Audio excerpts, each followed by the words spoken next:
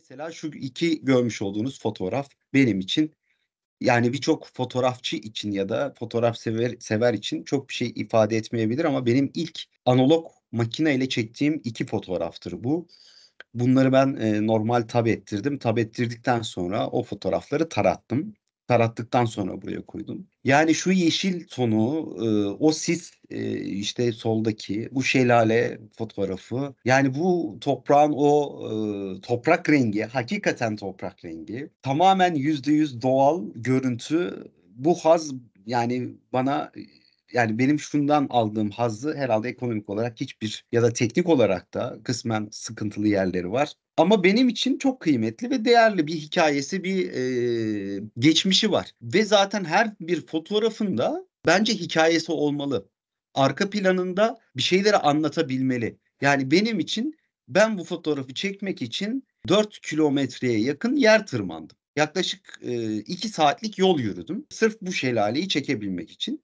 O dönemde de tabii gençtim işte bir de böyle ortaokul çağlarında falan. Ve gittim orada sisli misli çok güzel. Bu dağ bayağı da yukarı devam ediyor. Rakım 1800'lü civarlarda. Şimdi yer, lokasyon, bölge her şeyi dün gibi hatırlıyorum. Fotoğrafı çekerken de yanımda bir arkadaşım var. Sağımda duruyordu. Mesela bunlara kadar hatırlıyorum. Şu görmüş olduğunuz kestane ağaçları, diğer tarafta gürgen ağaçları falan var. İşte benim için arkasında mu muazzam bir hikaye olan ve en önemlisi de benim için ilk fotoğraf makinamla analog olarak çektiğim ilk manzara fotoğrafı budur benim için bu anlamda çok çok kıymetli ve değerli. Az önce ritimden falan da bahsetmiştik hatırlıyordunuz hatırlarsanız. Bu da rastgele denk gelen işte bir yerde bir samanlık gibi samanların bulunduğu yerde kedi yeni yavrulamış. Üç tane yavrusu böyle peş peşe duruyordu. O bakışı yakalamıştım. Ve her fotoğrafa merak salan ya da merak eden insan gibi ben de bir dolunay fotoğrafı çekmek istedim. Bu da işte Nikon 55'e 200 fotoğraf makinesiyle çektikten sonra crop yaptım buna. Yani biraz daha dijital zoom yaparak bilgisayarda çözünürlük iyileştirmesi falan yaparak oluşturduğum bir fotoğraf ay fotoğrafı. Her fotoğrafı merak salan ilk başlarda bunlardan çekiyor. 2011 yılında çekmişim bu arada. Altlarda hep imza atar genelde fotoğrafçılar. Zaman zaman bu imza değişikliğe uğrayabiliyor. Bende de zaman zaman olduğu gibi 2-3 çeşit bir imza var orada göreceksiniz. Bu da yine 2011'de e, bize yakın e, her üniversite öğrencisinin de zaman zaman fırsat bulduğunda ilk fırsatta gittiği Amasra. Amasra'da bir gün batımı fotoğrafı. Burada bir balıkçı teknesi akşam olmuş balıktan dönüyor. Ters ışık orada onu kullanmışız e, ve gün ışığı böyle deniz dalgasız Karadeniz'de çok görmek mümkün değildir böyle görüntüyü ee, ve denizin üzerine yansıyan o güneşin fotoğrafı o kızıllık o kontrastlığı da iyi yakalamışım o dönemde. Ve doğadan işte o yaprağın kopması ve sonbaharın gelmesi. Ben doğa fotoğrafçılığı yani doğadan çekilen fotoğrafları çok seviyorum. Ya da hiç habersiz, bilgisiz çekilen insanların e, genelde yüzü değil ama yüzlerini çok çekmeyi tercih etmiyorum. Özellikle yani eskiden de tercih etmiyordum, günümüzde de tercih etmiyorum. Zaten günümüzde KVKK var biliyorsunuz kişisel verilerin korunması kanunu. Orada zaten büyük sıkıntılar ortaya çıkabiliyor. Bu da işte o yaprağın e, o ağaçtan kopması ile ilgili. Bu arada öndeki arkadaşım da e, iyi bir fotoğrafçı. Sağda görebiliyor musunuz bilmiyorum. O da yaprakların fotoğrafını çekiyordu. Hem de onu sığdırdım kadraja. Bu da tabii ki dokuya güzel bir örnek. Anıtkabir. Anıtkabir'in bu kadar kişinin az olduğu zamanı yakalamak çok problem şu soldaki iki arkadaşımız da olmasaymış merdivenlerde daha iyi bir kadraj yakalanacakmış. Ancak oradaki duvardaki kabartmalar ve Anıtkabir'in o muazzam perspektif görüntüsü çift açışlı perspektife de güzel bir örnek. Mimari fotoğrafçılıkta da genelde o perspektif kaçış noktalarını falan, e, ufuk çizgilerini falan iyi yakalamak lazım. Bu da ona güzel bir örnek. Bu da yurt dışından St. Petersburg Neva Nehri üzerinde uzun pozlama. Uzun pozlama gece fotoğrafçılığında veya gündüz de olabilir yine fark etmez. Işıkların ışık boyamasıyla falan çok meşhurdur. Ee, bilen arkadaşlarımız vardır. Ee, olduğundan işe, içeriye ışığı daha fazla miktarda objektiften geçirip filme düşürmeyi hedeflersiniz. Bu nehrin üzerindeki beyaz ışık da bu nehirde hareket eden motorlu bir teknenin çıkarmış olduğu ışık. Orada bir ışık vardı motorda teknede o ışığın devamı. Ne kadar süre pozladım tam bilmiyorum ama bu da meşhur Kanlı Kilise St. Petersburg'daki ışıkların tam o e, binaların veya yapının üzerine tam olarak e, düştüğünü oraları da net bir şekilde o mimari dokuyu o hissiyatı vermek için kullandığımız aynı zamanda yine e, ufuk çizgisi, ufuk çizgisine doğru hareket eden binaların çizgilerini ifade etmeye çalışmışız buradaki anlatımda bu şekilde. Yine o yaşanmışlıklar ve hikaye ben çok severim demiştim. Burada da yine kullanıldıktan sonra işi bittikten sonra bir kenara atılmış her şeyiyle beraber bir taka var ya da işte küçük bir tekne var. Üzerindeki motorun pervanesini bile bırakmışlar. Bu da ben doğada gezerken rastgele denk gelen bir şeydi. Böyle çekmiş koymuşum. Hakikaten kenarı o kadar itilmiş ki, o kadar bırakılmış ki yani benim e, gözümden benim anlatmak istediğim şey yani bunun suçu günahı neydi? En azından pervanesini falan alsaydınız bari. Tahtayı komple o tekniği komple olduğu gibi ters çevirip bir atmışlar kenara. Yıllar geçmiş üzerinden. Ağaç, o üzerindeki ahşaplar çürümüş, delinmiş. O e, pervanesi paslanmış, küflenmiş olduğu gibi duruyor. Bunu anlatmak istemişim. Herhalde kenarıya atılıp bırakılmayı Yıllar geçse de ama meydan okuyor. Yine sapasağlam duruyor, durmaya çalışıyor. Bu da benim odamda da var. İsmail bilir veya bizim öğrencilerimizden olanlar varsa bilir. Benim odamdakinin e, hemen hemen aynısı. Benim odamdaki bir tık daha farklı. Burada da işte Yusufçuk diyorlar bu hayvana. Bu hayvanı da bu şekilde yakalayabilmek için o kanatlarının üzerindeki dokuyu, bacaklarındaki kılları ve dalın uzanış şekli, odak noktasının netliği, arkaya doğru olan o alan derinliğini falan verebilmek için herhalde bu arkadaşımızla Bursa'da bir göletin etrafında 45 dakika ya da bir saat dolaştım ben. Kaç tane fotoğraf çektim bilmiyorum. En son tatmin olduğum tek fotoğraf da buydu herhalde en sonunda. O doğadaki muazzam dengeyi, yaşamı aktarabilmek için çektiğim fotoğraflardan bir tanesi. Bu da yine Amasra'da çekil, çekilmiş bir fotoğraf. Burada da, eee, aslında, eee, fark edebiliyor musunuz bilmiyorum ama o dönemde yeni yeni böyle, eee, amatörlük diyelim, amatörden bir tık daha böyle yarı profesyonele geçiş falan yapıyorum. Burada ufuk çizgisinde bir eğrilik var, fark eden arkadaşlar olabilir. Ancak burada mavi ve tonları hoşuma gittiği için muhtemelen yağmurlu ve bozuk bir havadaydı. Mavi ve tonları hoşuma gittiği için o nostaljiyi falan Eee, hoşuma gittiği için çekmişim. Bu arada artık orada o gözleme evi falan da yok. Eee, Amasra'ya gidenler bilir. Artık onlar da kalmadı. Burada da akan muazzam bir nehir. Bu da yurt dışında arkadaşlar. Eee, Hırvatistan'da bir milli park burası. Koruma altında. Akan nehirde bir uzun pozlama yaptım. Uzun pozlamanın tadını biraz kaçırmışım. Gökyüzünde beyazlama ve biraz eee, su dalgalarında patlamalar meydana gelmiş. Ama yeşil dengesi veya yeşil tonları hoşuma gitmiş. O yüzden şey yaptım. Bunu da bastırdım ve bir sergide kullandım diye hatırlıyorum. Burada da mesela biraz pozlamanın dozunu kaçırmışım. O da akarsuların daha böyle çarşaf gibi e, serilmesini istediğim için olmuş. Ve burası çok gerçekten e, yüksek hızla akan bir nehir. E, yüksek hızla akan nehirden havaya kalkan su tanecikleri beyaz beyaz duman şeklinde görüyor musunuz bilmiyorum. Çok fazla su tanecikleri kalkıyor. Burada uzun pozlamayı yapmakta biraz problem. Sonra bu iki fotoğrafta soldaki az önce ilk kompozisyonu örnek olarak gösterdiğim fotoğrafta burada dozajı biraz kaçırmışım. Neyin dozajını kaçırmışım? İnsan ve ineklerin etrafında beyazlıklar var. Şöyle arkadaşlar burada HDR denilen HDR tekniği kullanılıyor. Artı bir, eksi bir ya da artı 2 eksi 2 pozlama değerleriyle en az 3 tane bazen 5 tane fotoğrafın üst üste bindirilmesiyle oluşuyor. İşte o BKT modu vardır fotoğraf makinalarında. Ona bastığınızda artı eksi 2 ya da 3 pozlama yaparsınız. Bu pozlamalarla beraber ışık almayan yerleri daha doygun ışıkla doldurursunuz. Yeşil daha yeşil, mavi daha mavi kırmızı daha kırmızı tonlarda çıkar. Daha kontrastı oluşturabilmek için renk geçişleri arasında gölgelerin daha belirgin hale getirilmesi için 3 ya da 5 tane bazen 4 tane fotoğrafı üst üste bindirirsiniz. Farklı pozlama değerlerinde. Burada biraz dozajı kaçırmışım. Ancak yine benim bu fotoğraf hoşuma gider. Bu arada bu fotoğrafın da ayrı dediğim gibi hemen hemen her fotoğrafın hikayesi var. Soldaki teyzemiz rahmetli olmuş. Ben hala çektiğim fotoğraflarda bir de böyle bir şey var takip ederim. Sağdaki fotoğrafta yurt dışından e, bir kubbeli alan. Burası sinema ve tiyatroların yapıldığı dönemin muhtemelen e, Roma döneminde. Roma döneminde sinema ve tiyatroların yapıldığı ses akustiği yüksek kutlamaların yapıldığı bir kubbe. Etrafında oturma yerleri var. Bu fotoğrafı çekebilmek için de yere yattım. Gökyüzüne doğru baktım.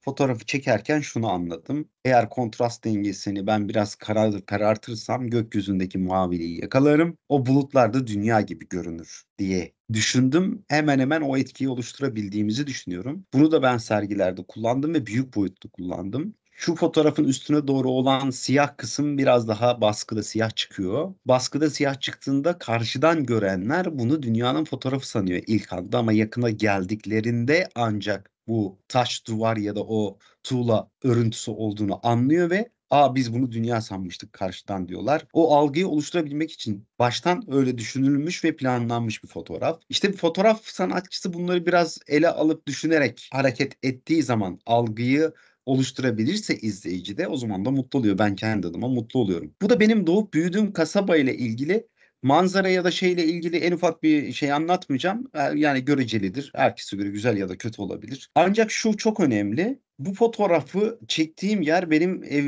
evimizin çatısı. Bizim evin çatısına tripodu kurduğum yer çatı, bildiğiniz çatı.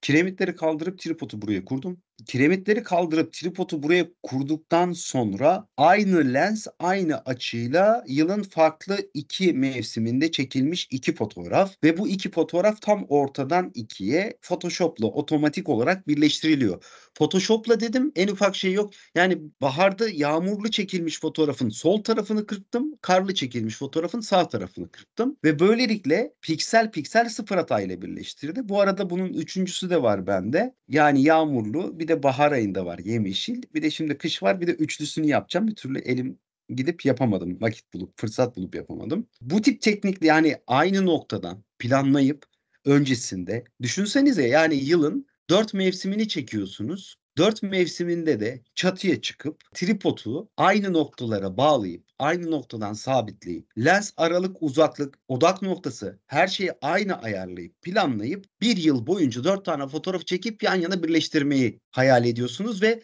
Böylelikle bir fotoğraf oluşturuyorsunuz. Yani bunun emek deseniz emek, zaman deseniz zaman. Yani fikir deseniz fikir, mantık deseniz artık adına ne derseniz deyin. Hatta bazısı deli bile diyebilir. Çok normal. Yani bunları planlayıp yaptığınızdaki oluşturduğunuz fotoğraf izleyicide uyandıran merak, işte izleyicinin biraz da onun da için içine girebilmesi hakikaten bence bir gerçek anlamda sanat eseri olduğunu düşünüyorum. Bu da yine e, su damlaları herkes gibi yani genelde fotoğrafçılar çeker ama burada su damlalarını ben farklı yönden çekmeyi düşündüm. Tabii ki herkes baktığında bir camda falan sanıyor bunu. Hayır, burada yüksek şatır kullandık. Yüksek şatırla burası bir alabalık tesisinin havuzuna akan akan su. Bu su damlaların hepsi havada. Bu da benim için anlamlı ve önemli. Yüksek şatır kullanıp burada çektiğimiz alan çok karanlık. Yüksek şatır kullanırken de birçok cep telefonunun ışıklarını falan yansıttık. Yani bu damlaların üzerine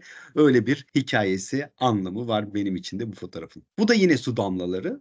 Bu da doğada muazzam bir sanatçı olan bence Örümceğin sanat eserinin üzerine yine bence muazzam bir sanatçı olan yaratıcının Allah'ın yağdırmış olduğu yağmurun iki sanat eserinin buluşmasını ben örümcek ağının üzerinde havada duruyor bu su damlacıkları. Bunu bu şekilde fotoğrafa yansıtıp aktarmaya çalışmışım. Bu da yine doğadan kara hindiba bitkisi soldaki. Sağdaki bitkinin çiçeği adını tam bilmiyorum ama o da makro çekimlerle alakalı iki fotoğraf. Bu da neydi? Heidi miydi? Haydi vardı değil mi? Böyle sanki oralardan fırlamış gibi. Yani o çit örüntü, başlangıç bitiş noktası, yine ufuk çizgisi, hava, deniz, toprak, hava, su, toprak üçlüsü. Bu da Sinop arkadaşlar. Giden bilen arkadaşlar vardır. Bu teyzemiz de rahmetli oldu. Çok nadir çektiğim yüzüyle beraber bunu da çekmemin sebebi kendisinden izin alarak çektim. Bu da rahmetli olmuş. Bunu da çekmemin sebebi hakikaten Anadolu kadını. Bu arada bütün kadın dinleyenlerin de geçmiş kadınlar günü kutlu olsun. Emek var burada. Emekçi bir kadını gösteriyor. O yüzden çekmişim. Çok nadir çektiğim yüz fotoğraflarından bir tanesi. Bu da benim eski kedim. Yine mimari fotoğraflar. Çek Cumhuriyeti, Çekya şimdiki adıyla Prag Astronomik Saat ve karşısındaki katedral. Mimari fotoğrafa bence güzel bir örnek. Anlatılmak isteneni tam isteneni tam anlattığını düşünüyorum. Oradaki astronomik saatle beraber. Ve tabii ki olmazsa olmazımız Safranbolu Yörük Köyü. Ya Safranbolu ve Yörük Köyü'nden bir tane de onlardan koyalım istedim. Yine Safranbolu'nun Kaymakamlar Evi'nin camının altındaki ya da balkonunun altındaki korkuluğun arasından çekilmiş bir fotoğraf. Buradan biraz işte Anadolu Osmanlı ya da işte Türk evlerinin motifleri arasında o motif de e, yine Safranbolu evlerinin motifini simgeler. O balkon korkuluğunun arasından görünen Safranbolu.